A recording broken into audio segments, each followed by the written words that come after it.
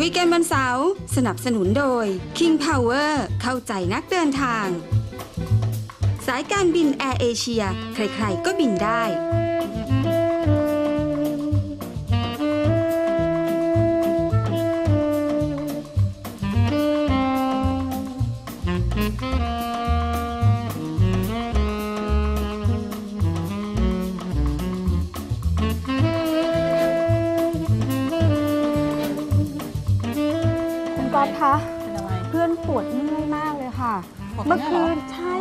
นั่งทำงานค่ะ อืม กว่าจะเสร็จเกือบเช้าอะคุณขาโอ้โหอยู่แต่หน้าคอม ใช่ โอ้โหคุณผู้ชมค่ะสวัสสวัสดีดีค่ะ ค่ะ คุณผู้ชมคุณชุบแจงเนี่ยค่ะ เพิ่งยืนบ่นเนี่ยค่ะ ว่าปวดไหล่ปวดหลังเนี่ย เพราะว่าอยู่หน้าคอมนาน อาการอย่างเงี้ยเขารู้ไหมเขาเรียกว่าออฟฟิศซินโดรมอ๋อ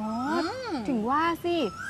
ก็ถึงชวนเรามาที่นี่ใช่แล้วใช่ไหมชวนมาจะบอกว่านวดนี่แหละอืมแค่เข้ามาอยู่ท่ามค่ะกลางบรรยากาศอย่างเงี้ยก็รู้สึกอืม ผ่อนคลายแล้วเนาะใช่ สมกับชื่อของเขาเลย Oasis โอ้ใจกลางสุขุมวิทซะด้วยนะก๊อตใช่ค่ะนะแล้วอย่างที่รู้ค่ะว่าสปาเนี่ยไม่ใช่เกี่ยวกับเรื่องของความสวยความงามอย่างเดียวเท่านั้นนะคะ ยังเพื่อสุขภาพอีกด้วยอืม พูดแล้ว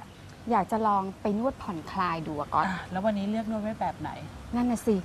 เดี๋ยวเราไปดูไหมไปดูอะไปเดี๋ยวปะจะอาการจะได้หายเนาะไปนะ ดีต่อสุขภาพใจก็ผ่อนคลาย ใช่ กลับไปทำงานดึกได้ต่อ สู้ ไปค่ะ ค่ะ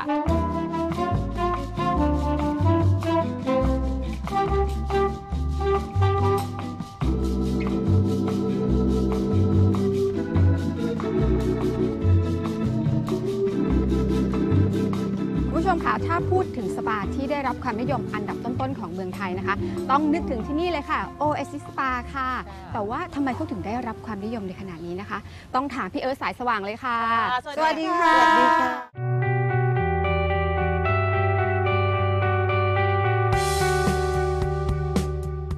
เจ้าขามาดูแลที่นี่มาดูแลช่วยด้านไหนบ้างคะ ด้านเยประชาสัมพันธ์ค่ะ อ๋อการสื่อสารการตลาดค่ะ ทั้งหมดค่ะ ต้องบอกว่าเอาประสบการณ์ในเรื่องของความเป็น PR ด้วยของโรงแรมของโรงแรมด้วยค่ะเพราะว่านี่คือต้องบอกว่าเป็นเซเลบริตี้เมืองไทย ค่ะที่คลุกคลีอยู่ในวงการประชาสัมพันธ์มาตลอด ค่ะ มาช่วยที่นี่ ค่ะ Oasis Spa เปิดมากี่ปีแล้วคะพี่ Oasis Spa เปิดมา 12 ปีแล้วสิบค่ะสองปีแล้ว แล้วมี 10 สาขาทั่วอ๋อประเทศไทย ค่ะ ค่ะ มีเชียงใหม่ค่ะค่ะ กรุงเทพ อืม พัทยาแล้วก็ภูเก็ตค่ะ อ๋ออ ตามหัวเมืองใหญ่ ๆ เลยค่ะ นะคะ ซึ่งกลุ่มเป้าหมายของ Oasis Spa คือใครคะ ถ้าหัวเมืองใหญ่ๆนี่คือต้องมีต่างชาติแน่นอน ถ้ากลุ่มเป้าหมายก็มีทั้งคนไทยทั้งค่ะ ชาวต่างชาติอะค่ะ อ๋อค่ะ สัดส่วนเป็นยังไงคะ สัดส่วนก็คือชาวชาวไทยก็ประมาณ 30%นะฮะอืม แล้วก็ ต่างชาตินี่ก็ประมาณ 70%โอ้ค่ะ ต้องบอกว่าต่างชาติเขาก็นิยมสปาไทยเหมือนกัน ใช่ค่ะ บางทีเขามี list มาเลยนะฮะว่าอืมเขาจะต้องมาที่โอ a ซิสสปาที่นี่อ๋อที่ไม่ว่าจะอยู่จังหวัดไหนนะคะ ค่ะ ถ้าเขาค่ะ อยู่ภูเก็ตเขาก็ต้องมีลิสต์มีรายชื่อที่ว่า is a must to do อือะมค่ะคือต้องมา จะต้องมาอืมเขาก็เตรียมเขาไว้เลย แล้วค่ะเขาก็จะแจ้งคนที่โรงแรมว่า เขาอยากจะมาที่นี่ อืม ทางโรงแรมก็ส่งมาค่ะค่ะอ๋อสำหรับผู้ใช้บริการนะคะจะเป็นผู้หญิงหรือผู้ชายสัดส่วนเป็นยังไงอืมพี่เอิร์ธคือผู้หญิงนี่จะมากกว่านะคะ ค่ะ ผู้ชายก็ประมาณ 40%สปาที่จะโดดเด่นเนี่ยก็จะต้องมีรูปรสกลิ่นเสียงสัมผัสค่ะ นะคะ แล้วก็แค่นั้นยังไม่พออมต้องมีเรื่องของความปลอดภัยอยู่ด้วย อ๋อค่ะ ความปลอดภัยนี่ไม่ใช่แค่แบบว่า แพ้เป็นผื่ด้านนไหนหรืออะไรนะบ้างคะค่ะก็จะต้องปลอดภัยทั้งสถานที่ด้วยบรรยากาศด้วยทั้งบรรยากาศด้วยอ๋อ อย่างเวลาอะเราเราเข้าไปใช้บริการเนี่ย ค่ะ พนักงานต้องสอบถามก่อนอืม หรือเปล่าใช่ค่ะ เช่นว่า คือที่เนี่ยเรามีพนักงานผู้เชี่ยวชาญเนี่ยนะค่ะค่ะก็จะมานั่งถามว่าเออตอนนี้เอ่อคุณแพ้อะไร ค่ะ คุณค่ะ ชอบหนักหรือเบาแล้วจะมีให้ติ๊กอะค่ะค่ะ อ๋อ น้ำหนักการนวด ค่ะ น้ำหนักการนวดก็ต้องมา อืมคือเป็นที่ปรึกษาให้ฟรีๆเลยคือค่ะบางทีเอ้ยไม่ได้ละ ตอนนี้ฉันท้องอยู่ อ๋อ ก็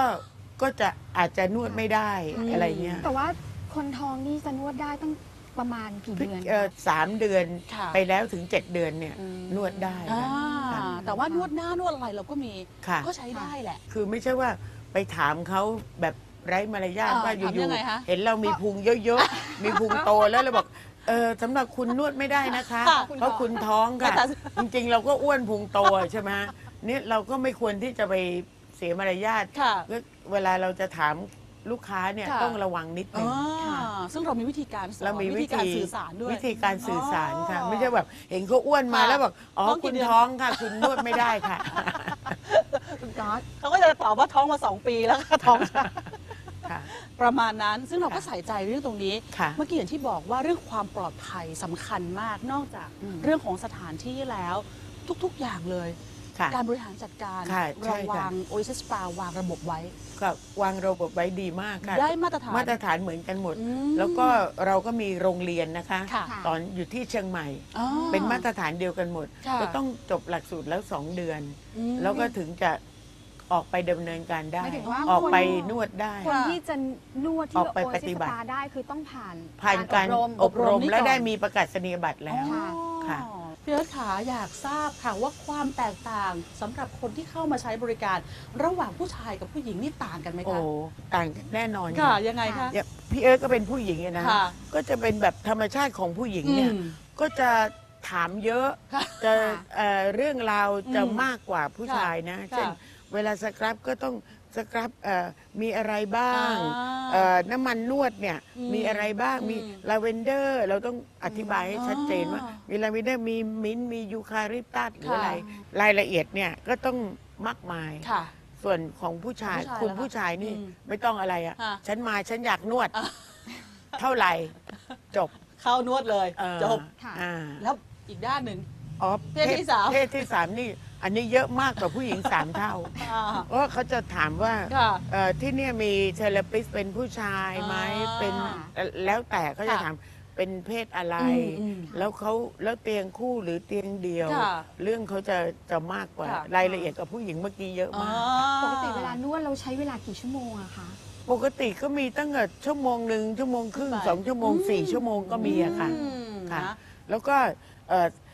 อย่างเงี้ยนะคะ อะไรบ้างเรามีคะเรามีเมนูให้ชัดเจนเลย ค่ะมีทั้งรูปอันนี้ภาพให้เห็น อืม แล้วก็มี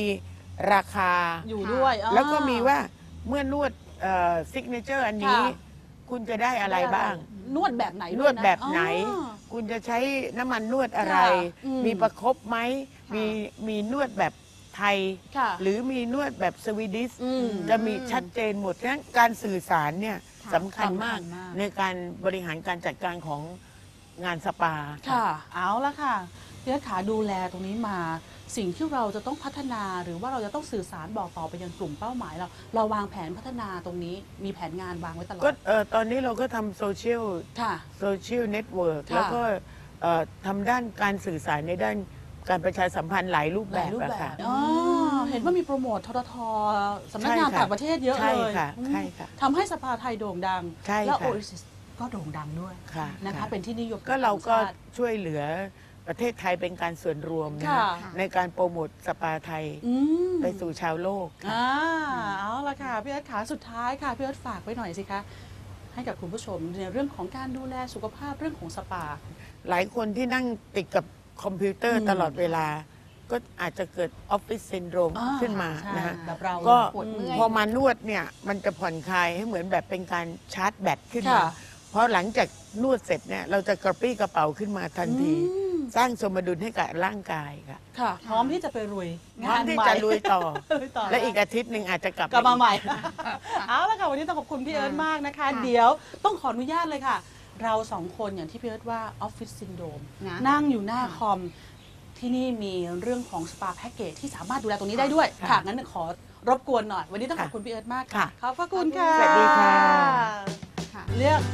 นี้มีเมนูภาษาไทยเลือกได้เลย